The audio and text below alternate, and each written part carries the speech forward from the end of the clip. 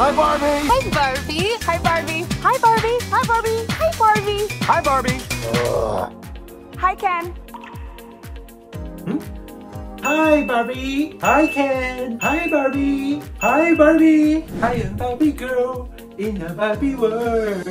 Life is plastic, Hi，大家好，我是 Look，欢迎回到 Look 带你 Look。今天呢要跟大家聊聊芭比，那要真人版电影上，所以呢我就可以想说来跟大家聊聊有关于芭比她的出生跟她在时尚界里面的地位哦。顺便呢我也会谈谈她在电影里面的几个服装造型。是受到了哪几个时代的时尚风格的影响？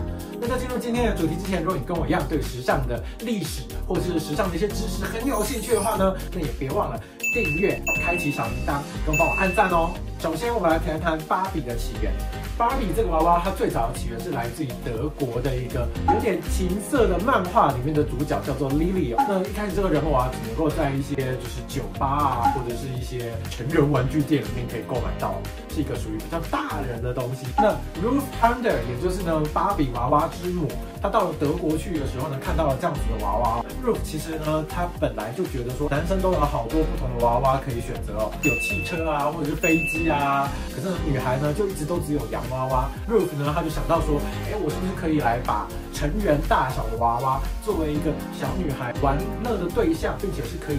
在上面表现自我这样子的一个玩具哦。到了一九五九年呢，Ruth 他所做的 Barbie 就正式的正式在美国的玩具展售会上面正式的发表。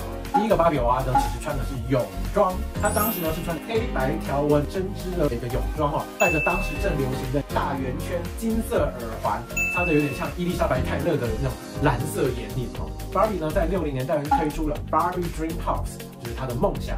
那个年代，女性是不能够自己拥有属于自己的房地产的。芭比在五零、六零、七零年代，她走的是非常非常的前面。甚至芭比在她的设计里面，比阿姆斯壮还要早一年登上月球哦。她可是呢第一个女性太空人。因此，当年芭比呢就风靡了全世界的小女孩。当他们有了芭比，他们就可以成为他们想要成为的职业，他们没有办法做的事情，都可能。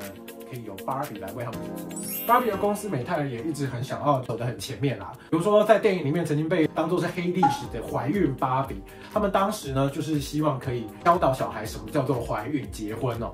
但很可惜啊，当时就受到了一些比较保守的分子就说，哎，她的那个娃娃可以跟她的老公是分开来买的，所以呢你是不是想要推崇就是未婚怀孕啊什么之类的？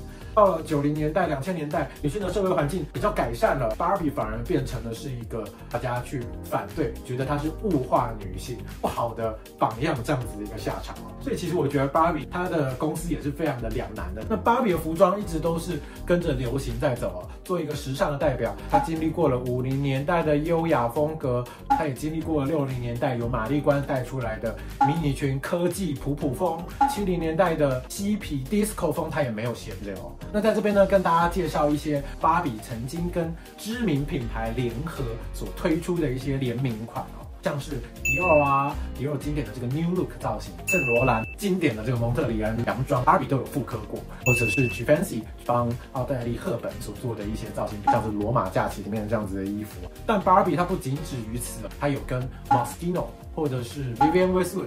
甚至是呢，帮马丹娜做出就是火箭胸部的那个 John Paul g o t i e r 他都曾经有跟他们联名哦。不要想说他就只有这样子。二零一五年，蕾哈娜在 Met Gala 上面穿的那一件，就被大家笑作是荷包蛋的那个黄袍哦。郭佩所设计的这件礼服，Barbie 都有一模一样的联名款，真是非常的厉害。再来呢，我们要谈谈 Barbie 这部电影里面，它受到了哪一些年代的服装跟文化的影响啊？他在电影最前面换上了这一件粉红色格纹的这件小洋装哦，据说就是香奈儿品牌来做的哦。这个洋装很明显呢是受到了五零年代的风格所影响，像这样子有点束腰、大摆度的裙子。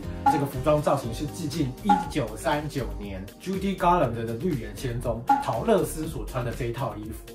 那这代表的是芭比跟陶乐斯一样，都接着要踏上一段艰辛并且带着成长的旅途，这样子的一个意思在里面。再来呢，芭比呢就哎误打误撞的，就是往那个人间前进哦。那他刚到人间的时候啊，穿的这个直排轮装哦，虽然大家可能看很多其他的影片会写说这个直排轮装哦是源自于九零年代芭比所出的一个就是直排轮芭比，但是呢，其实他的身上所穿的衣服并不是跟那个直排轮芭比穿的是同样的风格，他身上所穿的这种运动紧身连身衣的，其实就是在八零年代美国引起了就是健身风潮，就是所有人都要健身啊，然后变得越大越好，要穿上这样子的紧身衣来秀出自己的身材，大家会觉得这样子非常的性感。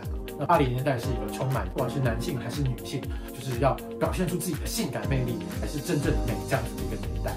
紧身衣韵律操在八零年代由甄方达这个女星在世界引起了一个这样子的风潮，所以呢，当时呢就非常流行穿这种有一点点就是情色感的紧身衣运动服。那这个在我之前有关于紧身衣跟怪盗的那一部影片有稍微提到过，你可以按右边上面这个字卡去看一下。那再来我们看到这个全身牛仔装，像这样子的一个西部牛仔风格，大概是美国的电影黄金年代，大概是五零年代那个时候在流行的东西。但是呢，在九零年代 Y2K 那个时候呢，曾经就有再次的流行牛仔风服装这个东西哦。当时的芭比就曾经推出了很多粉红色芭比粉的牛仔衣啊、牛仔帽啊，或者是牛仔靴哦。那像当年不管是滨崎步啊，还是安室奈美惠啊，或者是小甜甜布兰妮啊，也都曾经穿过类似的。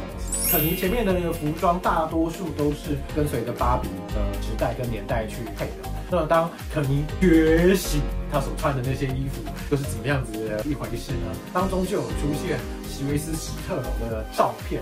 席维斯史特龙是大概美国七零年代、八零年代非常非常非常著名的一个硬派男演员哦。那肯尼在剧中这个大家可能最有印象的毛皮大衣，然后裸上身配的有点像冠军腰带，这个穿着打扮呢，就完完全全是模仿其实是史特龙的经典造型哦。那我要怎么样子把像芭比这样子鲜艳的粉红色穿在身上呢？我觉得你有两个方法，两个重点哦。第一个呢，使用比较粉嫩的一些淡色系，其他的粉红啊，或者是其他的粉绿啊，或其他的颜色去冲淡这个主要的鲜粉红强烈的刺眼的感觉哦。第二点呢，我觉得是他剧中有特别注意到的部分，就是不要让太塑胶感或者是太闪亮 bling bling 的东西跟粉红同时出现了。因为当这两个同时出现的时候呢，你就会觉得，嗯，好像有点俗艳的感觉。我们顺便也来谈谈剧中的家具哦。它其实呢是非常的五零年代现代主义这样子的一些设计的呃家具风格，比如说像会有这种那种圆球形的啊，或者是那种有点像 Art Deco 的一些装饰性的纹路。